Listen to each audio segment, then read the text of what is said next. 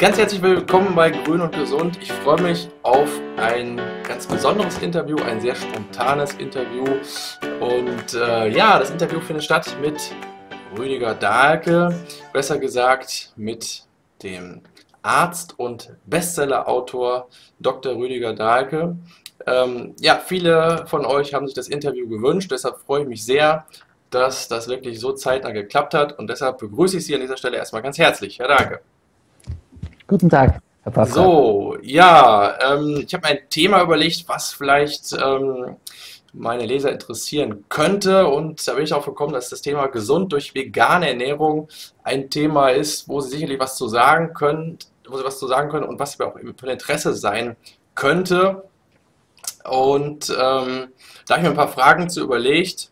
Und die erste Frage, die mich da interessiert, ist äh, eigentlich, ähm, wie Sie als Arzt und ähm, ja, eigentlich auch Psychotherapeut waren Sie ja früher, wie Sie da auf das Thema vegane Ernährung gekommen sind.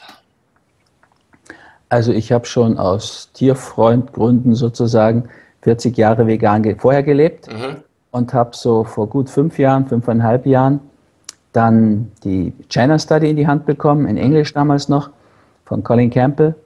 Und da war ich natürlich als Arzt sofort fasziniert, weil sich da ja enorme Möglichkeiten ergeben. Mhm. Symptome zu behandeln, Krankheitsbilder zu behandeln, auch eben von beiden Seiten. Also nicht nur von der psychischen Seite, was mich als Psychosomatiker natürlich auch fasziniert, sondern auch von der somatischen Seite. Das lässt sich ja wunderbar verbinden, Körper und Seele, diesem kann, Ansatz. Kann man die, die, diese China-Studie ähm, irgendwie in eine Hauptthese oder irgendwie kurz zusammenfassen, was da so die Aussage ist? Ja, kann man ganz gut die besagt letztlich, alles Tierprotein in der Nahrung macht uns krank und zwar wirklich sehr schwer krank. Also das fördert Herz-Kreislauf-Probleme, die Haupttodesursache, das fördert Krebs, aber auch Allergien, Rheuma, Gicht, Demenz, Alzheimer, also Osteoporose, einen ganzen Rattenschwanz von Krankheitsbildern und hat natürlich auch sehr harte Implikationen. Also zum Beispiel Milchprodukte machen genau die Osteoporose, die sie verhindern sollen. Das war für mich wirklich so, wie ich das gelesen habe, habe ich einen Schreck bekommen, habe die Studien geprüft, habe das recherchiert. Meine Partnerin hat dann gleich angefangen, auf vegan umzustellen. Und das war eigentlich so, wie ich die China Study gelesen habe, auch so die Idee, dass ich mir dachte, das müsste übersetzt werden in eine Sprache, die alle gut verstehen können. So ist Peace Food entstanden, das erste. Ja, Peace Food, wie der Verzicht auf Fleisch und Milchprodukte Körper und Seele heilt. Das Buch ist ja auch direkt zum ja, Bestseller äh, geworden. Ja, ähm, man sagt, weiß nicht, wie viel haben sie davon äh, verkauft inzwischen? Ich weiß es gar nicht. Ja, es sind 100.000. Über, ja. ja, kam noch das Kochbuch, Peaceful, das vegane Kochbuch, das hat auch schon über 50.000. Also es ging dann relativ schnell, weil natürlich auch diese vegane Welle entstand. Hm. Bücher kamen ja ungefähr, also auch die Bücher von Hildmann kamen ein bisschen später raus, das erste, aber es war so eine Zeit, wo das entstanden ist. Kurz vorher war Jonathan Safran Foer, Tiere essen. Vorher war schon Anständig Essen von Karin Duwe. Also es war wirklich die Zeitqualität auch reif, mhm. dass sich da was tat. Ja, das ist ganz interessant. Ähm, und das Thema ähm, vegane Ernährung gibt es ja schon sehr lange, aber es gibt wirklich gerade so eine, so eine Welle. Ähm, ja. Aber dennoch gibt es äh, sehr viele Leute, die gar nichts davon wissen und weiterhin wird ja auf, in der breiten Masse ja letztlich eigentlich äh, gepredigt, dass zum Beispiel Milch einfach gesund ist. Ne? Ja. Ähm, das ist, ist hochinteressant, obwohl es auf der einen Seite wirklich diese, diese Studien dann gibt. Das ist eher eigentlich wirklich dramatisch und tragisch. Es ist einfach die Wirkung der Werbung, die, die Macht der Lebensmittelkonzerne ja. und praktisch eine gleichgeschaltete Mainstream-Presse, wenn man es mal ganz genau nimmt, ne? die einfach weiter denjenigen, die in Werbungsanzeigen geben, auch einfach ihre Inhalte widmen. Mhm. Und insofern wird ja immer wieder in der Presse in, aus wirklich dümmlicher Weise wiederholt, sozusagen Fleisch gibt Kraft, Milch macht starke Knochen. Die Wirklichkeit macht Fleisch Krebs und Milch schwache Knochen. Und nicht nur schwache Knochen. Milch ist wirklich ein, ja, Colin Campbell sagt, das verbreitetste und deswegen gefährlichste Kanzerogen auf dieser Welt. Hm. Das ist nicht zu widerlegen, aber mit vielen Studien auch zu belegen. Also dass zum Beispiel Schulmilch propagiert wird und subventioniert wird, das ist wirklich ein Skandal. Da wird man zurückschauen drauf und sagen, so dumm waren Politiker Anfang des 21. Jahrhunderts, ja. dass das so lange gedauert hat, obwohl diese Studien da sind. Ja, Aber ist so. Ich, hoffe, dass ich da noch äh, diese Zeit noch erleben werde. genau. Ja, jetzt ist es ja bei mir, bei meinen Lesern so, dass ähm, sehr viele auch einen Rohkost-Hintergrund haben. Äh, wie weit ist Rohkost für Sie ein Thema, Herr Dahlke? Also ist für mich sofort ein Thema, wenn es warm wird. Sommer, Herbst, muss sagen, im Winter und im Frühling, wenn es noch sehr kalt ist, dann ist es mir lieber, auch wärmende Nahrung, also im Sinne der TCM, der chinesischen Medizin, zu mir zu nehmen. Mhm. Zwei große Themen, die da zusammenkommen, die mich ja auch sehr interessieren. So, das Geheimnis der Lebensenergie, das hat sicher mit der Frische zu tun. Ja, also es ist ja unbestreitbar, was grüne Smoothies an Frische transportieren, an Lebensenergie. Ja. Und möchte ich ja gar nicht mehr missen. Auf der anderen Seite ist es aber schon so, da stellen sich vor, draußen minus 20 Grad, dann will ich gar keinen frischen Obstsalat essen. Dann habe ich mehr Lust nach Dingen, die mich innerlich auch wärmen. Also ein Ingwertee, ein Currygericht oder so. Und das ist das, was die chinesische Medizin, soweit ich weiß, als einzige wirklich erfasst hat, dass es auch Lebenswärme gibt. Ja. Das ist etwas, was mich auch fasziniert. Wie passen die beiden zusammen? Ich glaube, wir müssten pflanzlich vollwertig leben, also vegan meint für mich wirklich Peace Food. Weil vegan alleine reicht mir nicht, weil da könnten sie ja auch Whisky und Wodka, Weißmehl Richtig, und Weißmehl ja. essen. Und das ist nicht das, was wir meinen können. Das ist nicht gesund. Also es müsste pflanzlich vollwertig sein, möglichst frisch und möglichst viel Lebensenergie da drin zu haben. Aber je nach Typ auch Lebenswärme. Und im Winter ist bei mir so weit, wenn ich zu Hause bin, hier in Österreich, dann würde ich da schon einfach wärmende Dinge auch essen wollen. Ja. Und trotzdem viel roh. Ja, also ja. im Sommer jetzt esse ich fast nur roh, wir nur roh, aber das wechselt mit der Jahreszeit. Ich glaube auch mit dem Klima, wo jemand lebt. Ja, für einen Zulu in Südafrika bei einer hohen Durchschnittstemperatur ist Rohkost sicherlich kein großes Problem. Ja, ja sehe ich Und genauso. In Nordnorwegen, die Samen, also die brauchen einfach wärmende Nahrung, sonst können sie bei einer Durchschnittstemperatur von minus drei Grad einfach nicht gut leben. Ja. Wobei man ja auch Rohkost erwärmen kann und bis 42 Grad, das ist auch genau. dann angenehm oder angenehmer als jetzt einfach wirklich das kalt zu essen. Und es ist dann trotzdem noch Rohkost. Ja, so genau. kann man sich ja auch behelfen. Ja, Amerikaner erwärmen sogar noch ein bisschen weiter, aber Sie haben schon recht, ab 42 Grad wird es fürs Eiweiß gefährlich. Da denaturiertes Eiweiß, was uns schon zeigen könnte, dass das nicht gut ist, ne, wenn wir es ja. denaturieren, also von seiner Natur sozusagen lösen und befreien. Richtig, es wäre ja. sinnvoll, so natürlich wie überhaupt möglich zu leben. Das haben ja schon Leute wie Collard und so weiter länger mal breiter erklärt. Genau. Ja, Dr. Dahlke, eine weitere Frage, ähm, die ähm, ja bei vegetarischer Ernährung immer wieder aufkommt und auch viele Leute, die da ähm, sich darauf einlassen und eben überlegen, ob sie sich darauf einlassen, ist einfach die Frage ähm, ja, nach Mangel. Ja? Viele Leute haben da wirklich Sorge, ähm, dass wenn sie jetzt umsteigen auf eine vegane Ernährung und eben ja scheinbar äh, wertvolle Dinge wie Fleisch und Milch weglassen, dass eben diese Mangelerscheinungen kommen. Wie, wie treten Sie dem entgegen?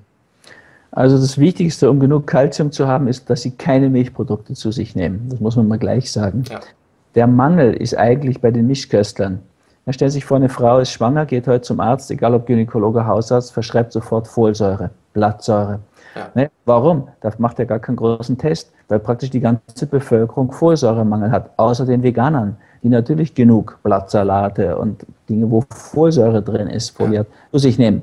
Das Einzige, wo Veganer wirklich darauf achten müssen, ist B12. Ja, wenn wir aus dem eigenen Garten die Dinge ungewaschen zu uns nehmen könnten, wie das ja in anderen Kulturen wie Indien und so passiert, da wäre es auch kein Problem. Aber wenn wir so, wie wir in der modernen Welt leben, essen, dann brauchen wir B12. Aber B12 müsste man alle dreieinhalb bis vier Jahre die Speicher auffüllen. Mhm. Vitamin C brauchen Sie jeden Tag. Und sagen Sie mir mal den Mischköstler, der jeden Tag genug Vitamin C zu sich nimmt.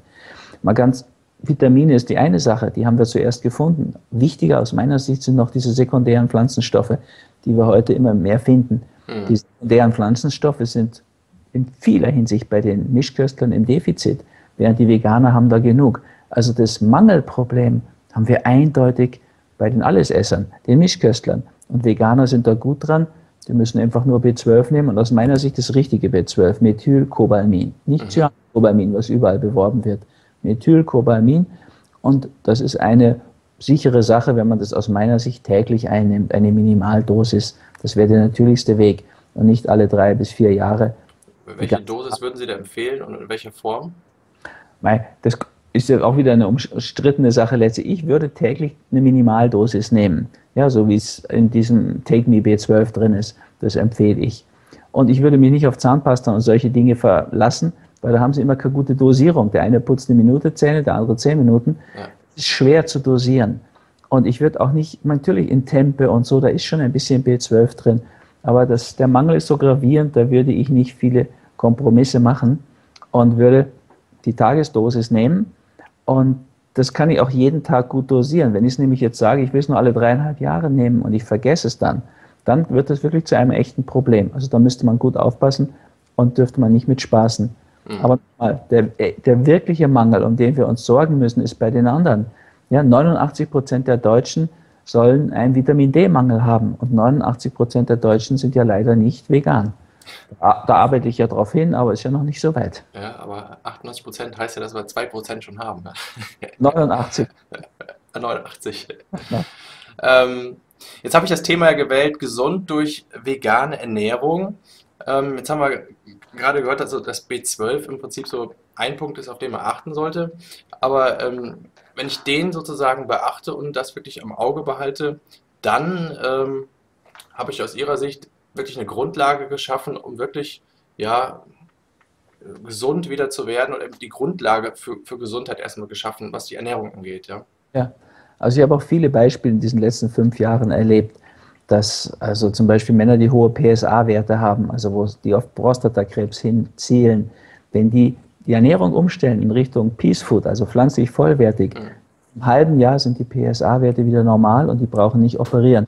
Und diese Operation ist ja nicht so ohne. Ne? Da droht ja. und Inkontinenz. Also da wären auch Männer dann, die ja sonst nicht so für Psychosomatik sind, sondern lieber operieren lassen, ganz hellhörig. Und sie sind dann heilfroh, wenn ich ihnen nicht mit Krankheit als Symbol und der Psychosomatik komme, sondern einfach sage, lassen Sie uns mal mit Ihrer Frau telefonieren, schauen wir, dass wir die Ernährung umgestellt kriegen, dann müssen Sie an dieses heikle Thema, was da psychosomatisch dahinter ist, gar nicht dran.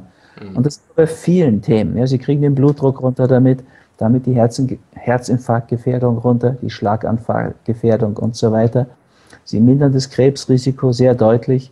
Sie mindern das Osteoporose-Risiko dramatisch. Wenn Sie Kinder gleich ohne Kuhmilchprodukte aufwachsen lassen, dann haben die gar keine Chance zum Beispiel auf den schlimmeren Diabetes, den Typ-1-Diabetes.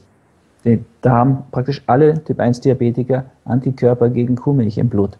Und auch Typ-2-Diabetes, diese neue Volksseuche, kriegen sie praktisch immer weg, wenn sie fasten und danach ihre Ernährung umstellen in Richtung Peace Food, ist Typ-2-Diabetes wirklich eine Sache, die sie loskriegen. Das kann man nicht bei allen Krankheitsbildern so sagen. Aber diesen Typ-2-Diabetes, den wir früher Altersdiabetes nannten, und auch zum Beispiel Rheuma, das ist etwas, was man einfach loswerden kann. Ja. Ich hatte kürzlich eine Patientin, die 70-jährig in den Fastenkurs kam und erstaunt feststellte, dass ihre Rheuma-Symptome verschwinden. Nur habe ich ihr gesagt, das kann, erstaunt mich gar nicht so, erlebe ich oft.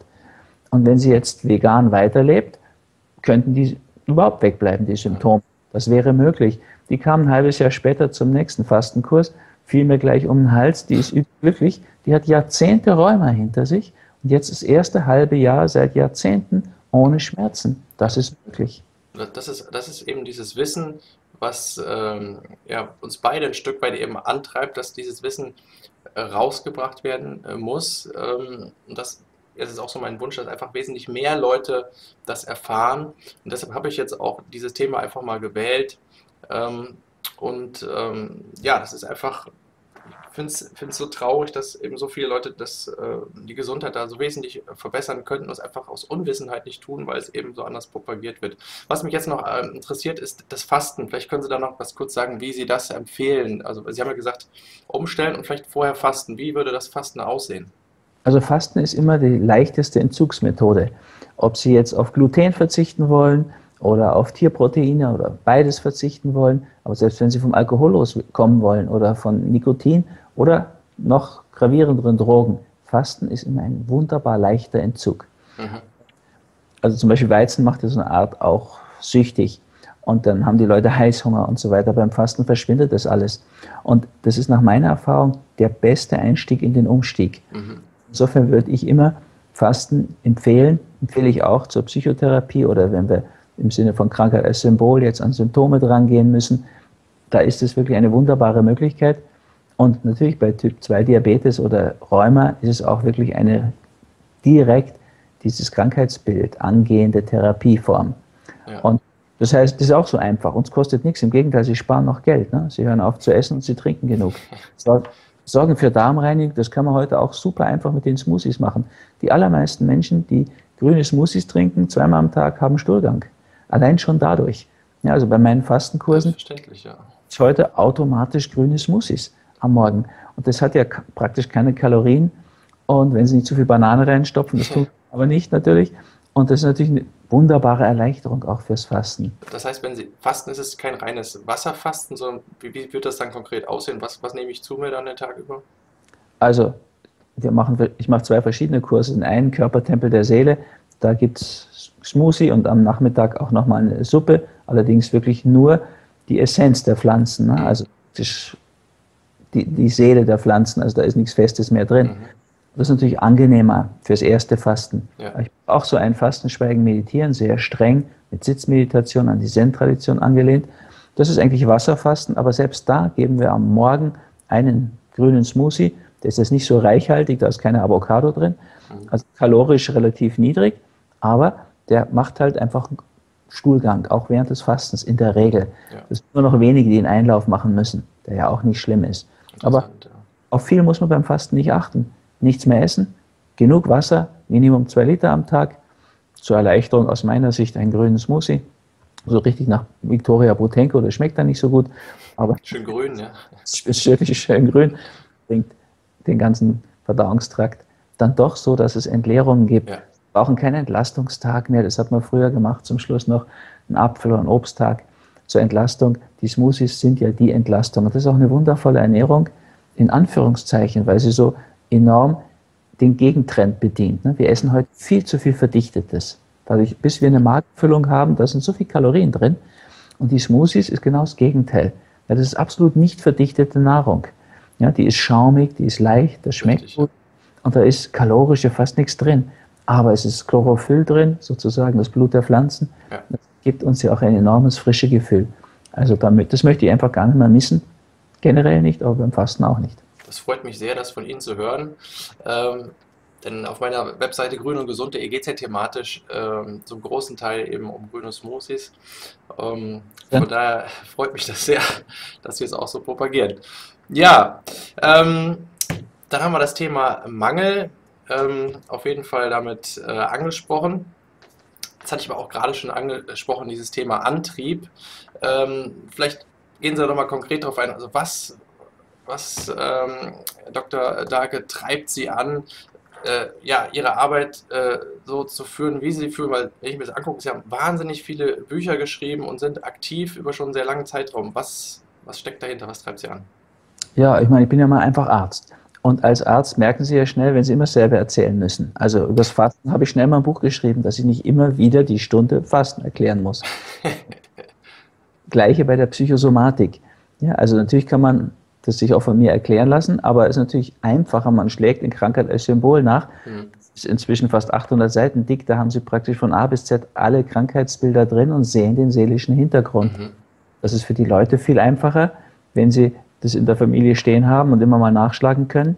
Und für mich natürlich auch einfacher, weil ich nicht immer selber erzählen muss. Ja, ja. Und genauso ist es natürlich auch mit der veganen Geschichte passiert. Also Peace Food ist eben entstanden, weil ich dann anfing, immer mehr Menschen, Patienten zu erklären, so und so können wir mit diesen Symptomen von der körperlichen Seite auch umgehen. Dann kommen wir von der seelischen und der körperlichen Seite, ist natürlich das Optimum.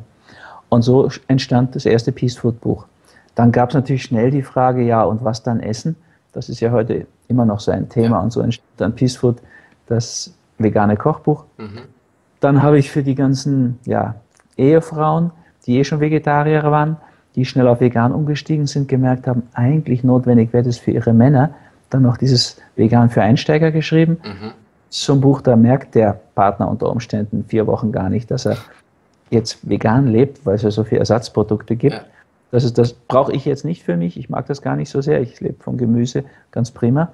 Aber für viele ist es doch ein entscheidender Punkt. Die hängen mhm. halt an Currywurst und es ist unheimlich beruhigend für die, wenn sie weiter ihr Schnitzel und ihre Currywurst essen können. Die sind halt dann nicht aus Fleisch, sondern aus diesen Ersatzgeschichten wie Soja und so weiter. Mhm. Muss man nur darauf achten, dass Soja halt dann wirklich nicht gentechnologisches Soja ist, dass es aus einem fairen Anbau stammt, aber das ist ja machbar. Und da kann man vieles hinkriegen. Ja, die Eier, die Sie heute im Restaurant kriegen, die stammen sowieso nicht mehr aus der Schale. Die werden als Matsch angeliefert. Mhm. Es gibt Eiersatz. Ich muss das nicht essen, aber für viele ist es ein hilfreicher Übergang. Ja, und wenn man mal gesehen hat, nach vier Wochen, es geht mir besser, ja. die, die Blutwerte werden besser, dann kann man das ja auch enthüllen. Man kann es auch von Anfang an sagen. Nur muss man sagen, es gibt halt relativ viele, gerade im Bereich der Männer, die einfach Vorurteile haben, die sich nicht vorstellen können, dass sie den Unterschied nicht merken. Aber überall passiert es jetzt. Gerade von einem Wurstfabrikanten ein Interview gelesen, die wollen jetzt ein Drittel ihrer Produktion auf fleischfreie Wurst umstellen. Ach, interessant. Ja. Finde ich wundervoll, obwohl ich das nicht mag. Also ich brauche keine Leberwurst, die wie echte Leberwurst schmeckt, weil mir hat schon die Leberwurst nicht geschmeckt früher. Ist insofern für mich keine Option. Warum soll ich das, was mir eh nicht schmeckt, nachmachen? Ja. Aber viele ist es wunderbar. Und ich meine, das Ganze könnte eine riesige Chance werden, um wirklich im großen Stil und auf einfache und geschmackvolle Weise zu gesunden. Das ist so das letzte Thema, was ich mir vorgenommen habe. Ich finde, die Welle hat schon wirklich so ein Feld gemacht, dieses vegane Feld. Mhm. meine, die Leute, wenn sie vegan sagen, die fragen nicht mehr wie vor fünf Jahren, ja, was ist denn das? Was essen dann? Heute kommt eher so, entweder sind dagegen oder dafür. Diese Polarisierung zeigt aber auch, dass das Thema sich ausgebreitet hat. Ja, und definitiv, ja. Jetzt haben wir, glaube ich, die Chance, dass wir aus diesem, dieser Welle wirklich ein breites Feld machen. So, was mir vorschwebt, ein Feld ansteckender Gesundheit, nenne ich das am liebsten. Mhm. Bin froh um jeden, der da mit beiträgt. Die da, Jomana Matukat schreibt da das vegane Buch für die Familie und der Attila schreibt für die Jungen im Wesentlichen auch. Und das ist ein, ein Riesenfeld, was entstanden ist. Mein Traum wäre, dass wir da einen Lebensstil draus machen. Den besseren, leichteren, gesünderen, schöneren, anmachenderen, weil ästhetischeren Lebensstil.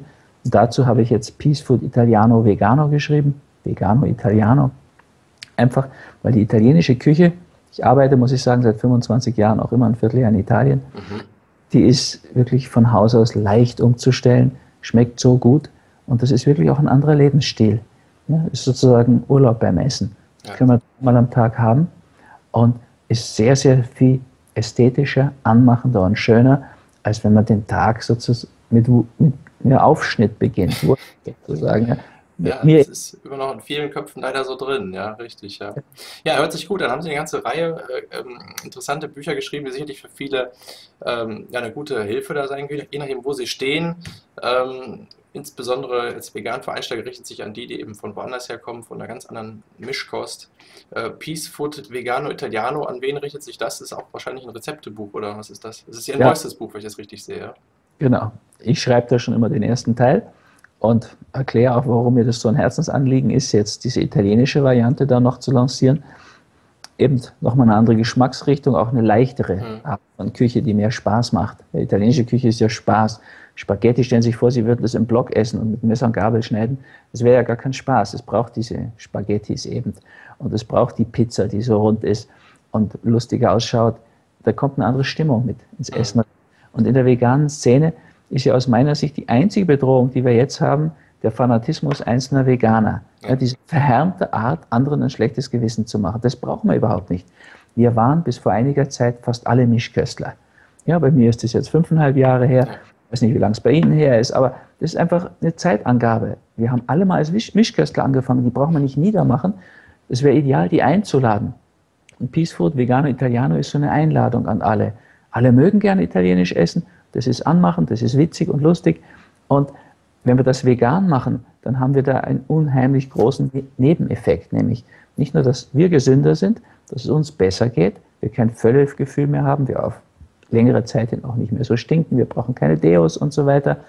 Und wir nützen natürlich enorm den Hungernden in den Hungerländern. Wir nützen enorm der Umwelt. Ja, Sie können nichts Umweltsinnvolleres tun, als sich umstellen auf pflanzlich vollwertige Kost. Und wir nützen auch den Tieren. Das ist für mich noch so ein ganz wichtiger Punkt. Tierschutz, wirklicher Tierschutz meint immer pflanzlich vollwertige Kost ja. und niemals Tiere essen. Ja? Obwohl, glaube ich, in Tierschutzvereinen viele Leute organisiert sind, die Tiere essen. Das ist so ein gewisser Widerstand. Es gibt Ökologen, treffe ich immer wieder unter Grünen, ja, die stimmt, sind vegan. Da bin ich fassungslos. Ja? Also das finde ich auch eine Farce, ehrlich gesagt. Ja, das stimmt. Es gibt ja einen Unterschied zwischen Kuscheltier, äh, ähm, ja, Tierliebe und den Tieren, die eben nicht kuschelig sind. Ja, aber es ist ein eigenes Thema, aber da gebe ich Ihnen vollkommen recht. Ja, also ich, ich stimme da komplett zu, was Sie sagen. Das ist hochinteressant und unterstreicht ähm, das einfach nochmal. Ja, jetzt ähm, würde ich abschließend noch gerne ähm, darauf hinweisen, dass es eine Möglichkeit gibt, jetzt auch in Deutschland live ähm, ja, zu hören. Sie haben eine ganze Menge Vorträge. Sie halten also eine Vortragsreihe in ähm, Deutschland. Und wenn ich das richtig sehe, äh, korrigieren Sie mich, wenn ich falsch liege, am 28.09., das ist ein Sonntag, da geht das in Mainz los. Und da touren Sie sozusagen durch Deutschland. Das genau. ist so richtig, ja. Mergentheim und Ulm, weiß es auch. Nur wenn ich sie ablese. Olpe und Lübecke, bin ich in Göttingen und Wunsdorf. In Hamburg habe ich Premiere von meinem Film. Ich habe auch einen Film gemacht über Aha. die Schicksalsgesetze am 7.10. in Hamburg, Abaton-Kino. Bis dahin weiß ich es auswendig. Aber dann gibt es noch viele Städte unter www.dalke.at für Österreich kann man das schauen, wenn man sich interessiert. Würde mich natürlich sehr freuen. Und gibt ja. auch viele Peaceford-Vorträge dort, aber eben auch Schicksalsgesetze und Krankheit als Symbol und diese großen Themen, die mich die letzten Jahrzehnte beschäftigt haben. Genau, also die äh, Webadresse, vielleicht können Sie gerade nochmal nennen.